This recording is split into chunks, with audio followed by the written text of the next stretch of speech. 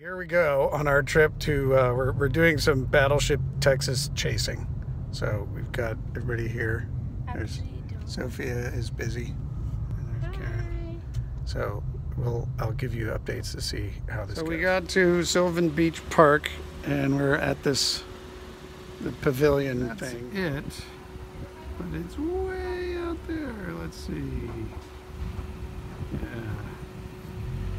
It's, we're, we're gonna have to drive a little bit further to catch up to a place called El Jardin Beach.